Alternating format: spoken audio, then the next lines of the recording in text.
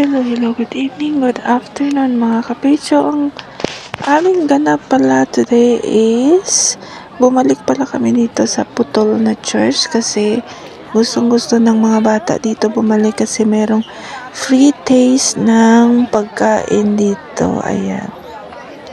Para siyang ano, yung pork at saka beef na slice siya. So, bibigyan ka pag dumaan ka. Ayan. So, gustong gusto nilang bumalik dito kasi ang sarap-sarap daw. Oh, ayan. So, balik na balik kami dito. Three times ata kaming bumalik sa area na to. So, ito pala yung famous na putol na church dito sa Macau, guys. Ito po yung dinarayo dito kasi before sa panahon daw ata noon, binomba ito. So, ayan. Ito na lang po yung naiwan sa church ito yung harapan so na-preserve na. Preserve nila. At saka gulat na gulat pala kami kasi dumating yung aking asawa galing Hong Kong. Pinuntahan kami dito sa Macau. Ayan so hindi namin alam na pupunta pala siya. So pero okay lang at least family bonding namin. Kasi ang tagal na namin hindi nakalabas ng Hong Kong dahil nga sa pandemic noon guys. So, ayan, pumunta naman kami ng China, China ba before ng ano guys, ng ng pandemic. So, kaya lang after ng pandemic, hindi na kami nakalabas ng Hong Kong.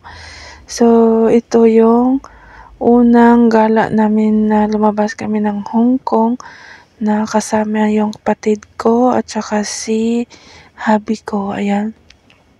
So, si Tuto pala, naglaro pala dito sa, ano na ito, anong tawag dito. Ayan. So, pabalik-balik pala siya dito, guys, kasi, oh my God, ayan. So, nahiya ako sa guard, guys, sa mga tao. Pero okay lang, siguro ang saya-saya niya, gulat na gulat. So, ayan. So, nandito din pala kami sa loob ng Win, guys, Win Palace dito sa Hong ah dito sa Macau. So, ang area pala na ito guys, meron pala ditong yung wishing tree na lumalabas galing sa baba at saka may um, nag-o-open dun sa taas. Parang view niya guys. So, ayan. Ang dami dito pala na area guys is nandito yung mga branded na mga For example, mga Prada, Louis Vuitton, Dior, mga ganun guys. So, ayan. Kami naman ng sister ko best in picture-picture and video-video kaming dalawa. While silang tatlo, apat pala, lakad ng lakad kami ng sister ko. Ayan, nandito, nandito kami sa Dior, diba? Kami parang baliw, manul ba? so, parang namanol kami dalawa ni sister. So, ayan, best in picture-picture kami sa Louis Vuitton. Ayan. O, oh, di ba?